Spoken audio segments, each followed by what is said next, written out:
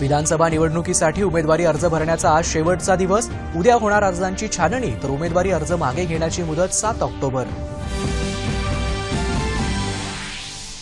सर्वपक्षीय दिग्गजांचे उमेदवारी अर्ज आज होणार दाखल. विविध पक्षांनी जाहीर केल्या उर्वरित उमेदवारी याद्या.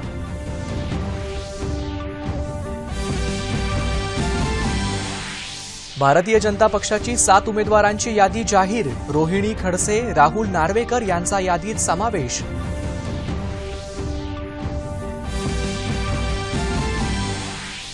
डॉक्टर बाबासाहेब आंबेडकरांचे विचार हे देशाला जोडणारे? म्हणूनच त्या विचारांचं सर्वांनी पालन करावं रामदास आठवले यांचं आवाहन.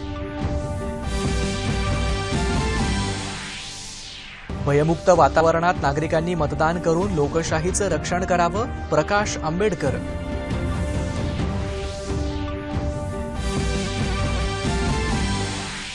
पंतप्रधान नरेंद्र मोदी यांच्या हस्ते मॉरिशस बेटावर महत्त्वाच्या दोन प्रकल्पांचं उद्घाटन भारत मॉरिशस दृढ संबंधांसाठी प्रकल्प महत्त्वाचे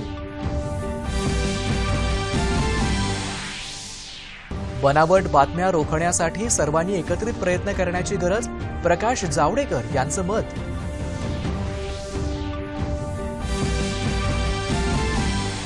आणि निर्यातबंदी तसंच साठेबाजीला पायाबंद घालण्यानंतर कांद्याचे दर कमी होत असल्याचं रामविलास पासवान यांचं प्रतिपादन. नमस्कार. अकराच्या बातमीपत्रात मी सुमित जगदाळे आपलं स्वागत करतो. आता पाहूयात बातम्या विस्तारानं. राज्य विधानसभा निवडणुकीसाठी उमेदवारी अर्ज दाखल करण्याचा आजचा शेवटचा दिवस आहे. शेवटचा दिवस असल्यानं राज्यभरात अर्ज दाखल करण्यासाठी आज झुंबड उडेल. बंडखोरी टाळण्यासाठी अजूनही काही महत्त्वाच्या जागांवर पक्षांनी उमेदवार जाहीर केलेले नाहीत अशा जागांवरील उमेदवार आज घोषित होतील. राज्यातले अनेक प्रमुख नेते आज उमेदवारी अर्ज दाखल करणार आहेत. मुख्यमंत्री देवेंद्र फडणवीस दक्षिण पश्चिम नागपूरमधून अजित पवार बारामतीतून एकनाथ शिंदे ठाण्यातून राधाकृष्ण विखे पाटील शिर्डीतून छगन भुजबळ येवल्यातून तर गणेश नाईक एरोलीतून उमेदवारी अर्ज दाखल करणार आहेत. उद्या या अर्जांची छाननी होणार आहे. उमेदवारी अर्ज माघार घेण्याची मुदत सात ऑक्टोबर असून त्यानंतरच लढतीचं चित्र स्पष्ट होईल.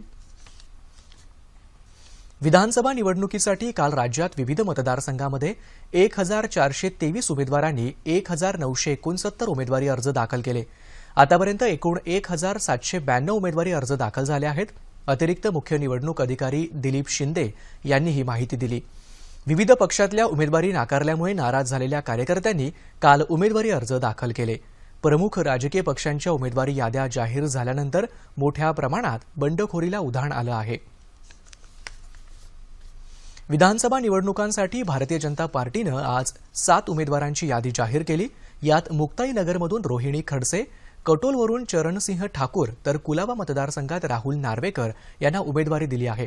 एकशे एकोणचाळीस उमेदवारांची यादी आतापर्यंत भाजपनं जाहीर केली आहे.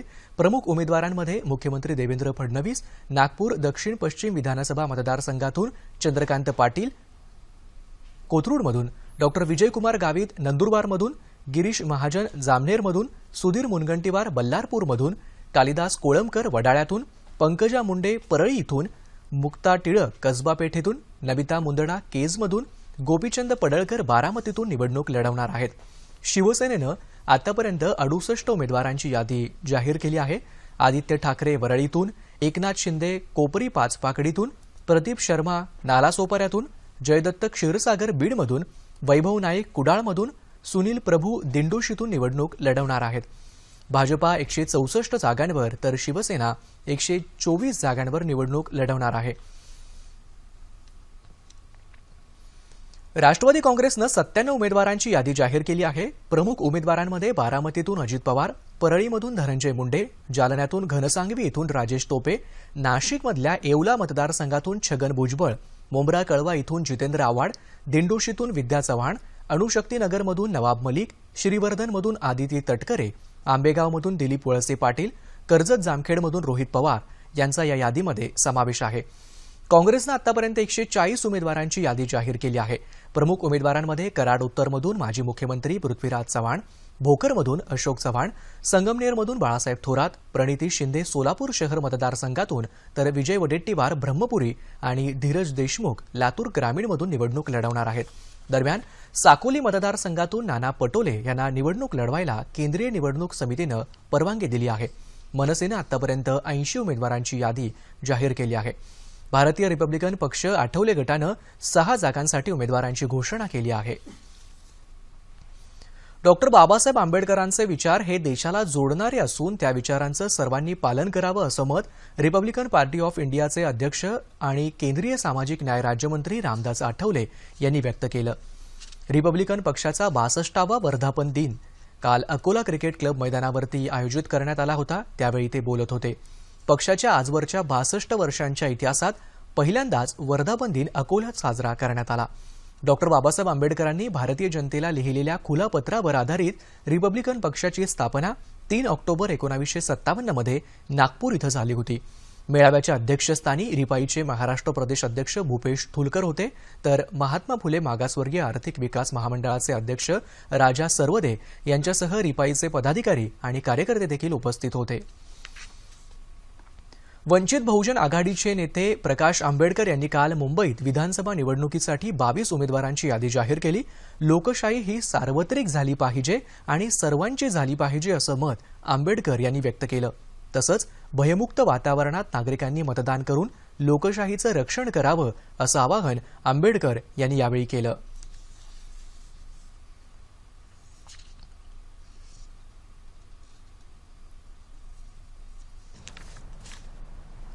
यानंतरच्या बातम्या थोड्याच वेळात.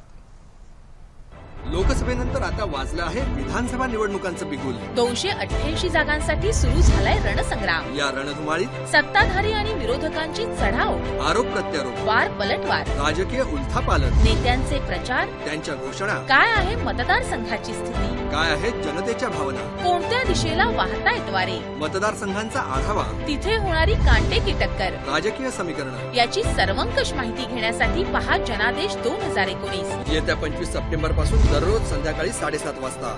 दूरदर्शनच्या सह्याद्री वाहिनीवर? पाहायला विसरू नका जनादेश दोन हजार एकोणीस. मॉरिशस बेटावरच्या महत्त्वाच्या दोन प्रकल्पांचं उद्घाटन पंतप्रधान नरेंद्र मोदी आणि मॉरिशसचे पंतप्रधान प्रविंद जगन्नाथ यांच्या हस्ते एकत्रितपणे काल व्हिडिओ कॉन्फरन्सिंगद्वारा करण्यात आलं. यात मेट्रो एक्सप्रेसचा पहिला टप्पा आणि एका कान नाक घसा रुग्णालयाचा समावेश आहे. दोन्ही प्रकल्पांची सेवा मॉरिशसच्या जनतेला मिळेल आणि मॉरिशस भारत दृढ संबंधाचं ते प्रतीक ठरेल असं पंतप्रधान नरेंद्र मोदी यांनी यावेळी केलेल्या भाषणात म्हटलं आहे. मेट्रो सेवा ही जलद स्वच्छ तत्पर वाहतूक व्यवस्था असून त्यामुळे अर्थव्यवस्था आणि पर्यटनाला चालना मिळेल. तसंच रुग्णालयामुळे लोकांना उत्तम वैद्यकीय सेवा उपलब्ध होईल असा विश्वास पंतप्रधानांनी यावेळी व्यक्त केला. आपल्या नागरिकांचं जीवन परिपूर्ण करण्याचं तसंच जगभरात शांतता प्रस्थापित करण्याचं हे दोन्ही देशांचं उद्दिष्ट असून या प्रकल्पांमुळे दोन्ही देशात एक नवा इतिहास घडेल असंही मोदी यावेळी म्हणाले. मॉरिशसची जनता भारताची ऋणी राहील असं मत मॉरिशसचे पंतप्रधान जगन्नाथ यांनी यावेळी व्यक्त केलं. पैसे देऊन प्रसिद्ध केलेल्या बातम्यांपेक्षा खोट्या बातम्या समाजासाठी अधिक धोकादायक आहेत असं मत केंद्रीय माहिती आणि प्रसारण मंत्री प्रकाश जावडेकर यांनी व्यक्त केलं. ते काल नवी दिल्लीत बोलत होते. बनावट बातम्या रोखणं ही केवळ सरकारची जबाबदारी नाही तर त्यासाठी आपण सर्वांनी एकत्रित प्रयत्न करायला हवेत असंही ते म्हणाले. प्रसारमाध्यमांच्या स्वातंत्र्यावर कोणतीही बंधनं आणण्याचा सरकारचा विचार नाही मात्र झपाट्याने वाढत चाललेले इंटरनेटवरचे मनोरंजनात्मक कार्यक्रम आणि बातमी देणारे खासगी पोर्टल यावर काही नियंत्रण असण्याची गरज जावडेकर यांनी व्यक्त केली. केंद्र सरकारनं कांद्याची निर्यात बंदी केल्यानंतर तसंच साठेबाजीला पायबंद घातल्यानंतर देशभरात कडाडलेले कांद्याचे दर आता निवळत असल्याचं केंद्रीय अन्न आणि ग्राहक व्यवहार मंत्री रामविलास पासवान यांनी म्हटलं आहे. ते काल नवी दिल्लीत वार्ताहरांशी बोलत होते. केंद्र सरकारकडच्या छप्पन्न हजार टन कांद्यांपैकी अठरा हजार टन राज्यांना पुरवण्यात आला असून पंधरा हजार टन कांदा दमटपणा अभावी सुकला आहे असं ते म्हणाले. पंजाब आणि महाराष्ट्र बँकेच्या खातेदारांना आता सहा महिन्यात पंचवीस हजार रुपयांपर्यंतची रक्कम काढता येणार आहे. रिझर्व्ह बँक ऑफ इंडियानं यासंदर्भात काल अधिसूचना काढली.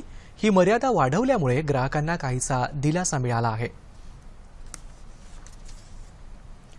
पुण्याच्या विश्वशांती केंद्र मायर्स एमआयटीच्या वतीनं देण्यात येणारा यावर्षीचा संत श्री ज्ञानेश्वर माऊली विश्वशांती पुरस्कार माजी केंद्रीय मंत्री डॉक्टर कर्णसिंह यांना काल प्रदान करण्यात आला.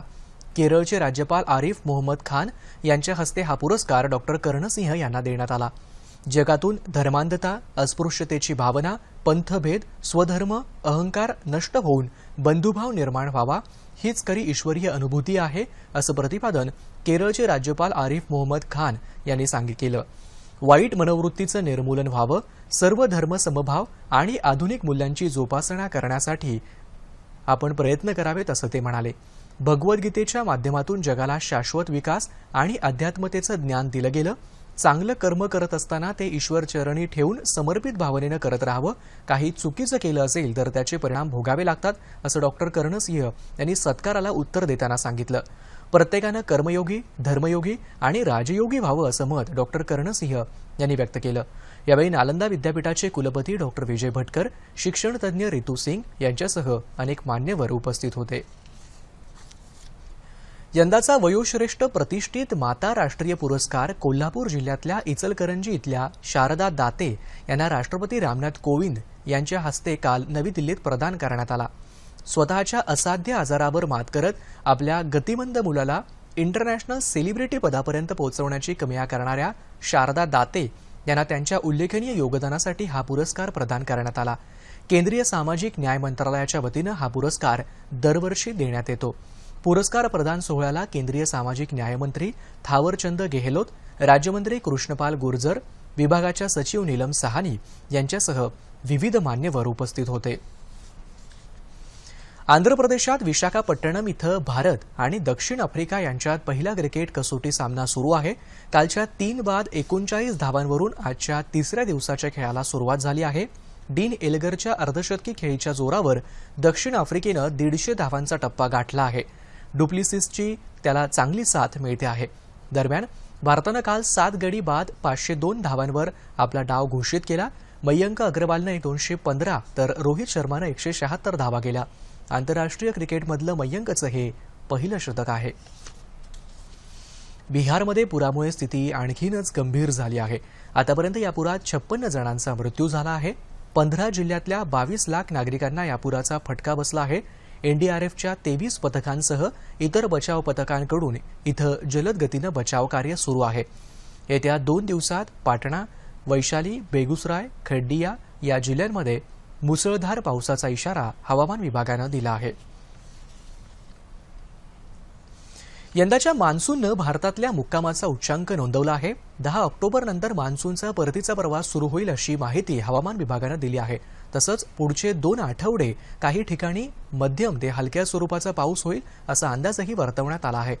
जून ते सप्टेंबर या पावसाळी महिन्याच्या काळात सरासरी एकशे दहा टक्के पावसाची नोंद झाली असल्याचंही म्हटलं गेलं आहे. राज्यात पावसानं विश्रांती घेतली आहे. येत्या छत्तीस तासात कोकण मध्य महाराष्ट्र आणि मराठवाड्यात तुरळक ठिकाणी पावसाचा अंदाज हवामान विभागानं वर्तवला आहे. शेवटी पुन्हा एकदा ठळक बातम्या.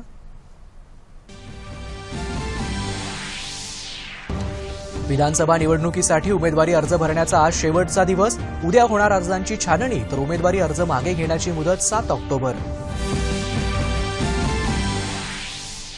सर्वपक्षीय दिग्गजांचे उमेदवारी अर्ज आज होणार दाखल. विविध पक्षांनी जाहीर केल्या उर्वरित उमेदवारी याद्या.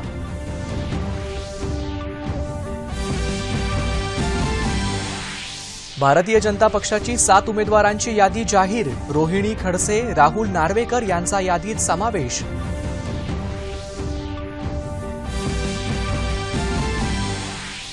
डॉक्टर बाबासाहेब आंबेडकरांचे विचार हे देशाला जोडणारे? म्हणूनच त्या विचारांचं सर्वांनी पालन करावं रामदास आठवले यांचं आवाहन. भयमुक्त वातावरणात नागरिकांनी मतदान करून लोकशाहीचं रक्षण करावं प्रकाश आंबेडकर.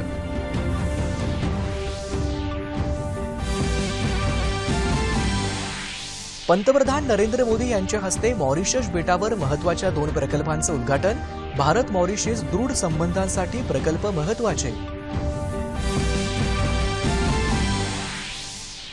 बनावट बातम्या रोखण्यासाठी सर्वांनी एकत्रित प्रयत्न करण्याची गरज प्रकाश जावडेकर यांचं मत.